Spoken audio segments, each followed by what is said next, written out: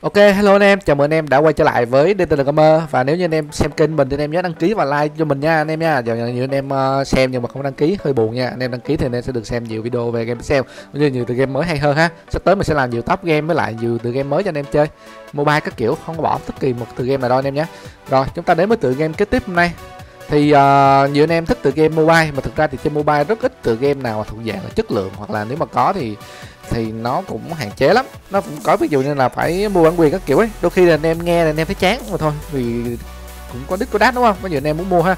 Thì à, anh em thấy trên màn hình đó thì cái tựa game giới thiệu anh em có tên là Moonlighter.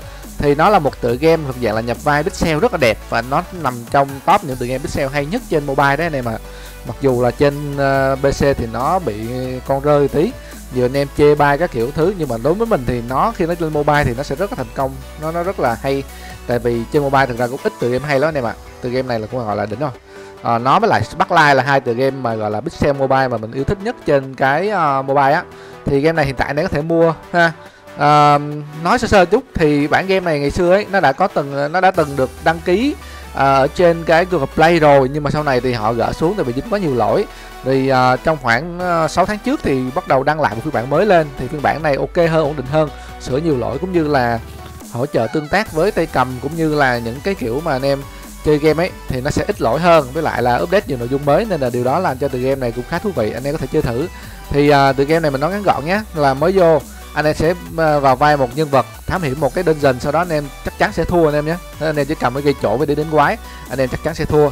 Và sau đó thì anh em sẽ được ông già này cứu. Ông già này là người đầu tiên có thể à, thoát khỏi đây nhưng ổng ờ, ổng già rồi nên là ổng không muốn đi nữa. Ổng ở đây ông cứu anh em sau đó ông bắt đầu rèn luyện cũng như là cho anh em một cái nghề ha. Buôn bán vào ban ngày ban đêm thì anh em sẽ đi thám hiểm đơn dần sau đó thì kiếm nguyên liệu về nâng cấp vũ khí hoặc là nâng cấp bất cứ kỳ anh em anh em muốn. Đó thì tựa game thì nó cơ bản thôi ờ, ngày xưa mình cũng giới thiệu anh em đấy nó cũng giống như kiểu Tandy Valley nhưng mà nó phiêu lưu hơn chút ha.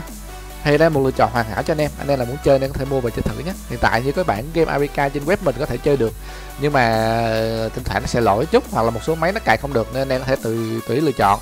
Còn anh em mua game thì chắc chắn là anh em chơi được ha với lại không mua được thì à, chơi không được thì anh em có thể trả lại luôn. Đấy. Ok hẹn gặp lại anh em trong các video sau nhé cảm ơn anh em đã theo dõi.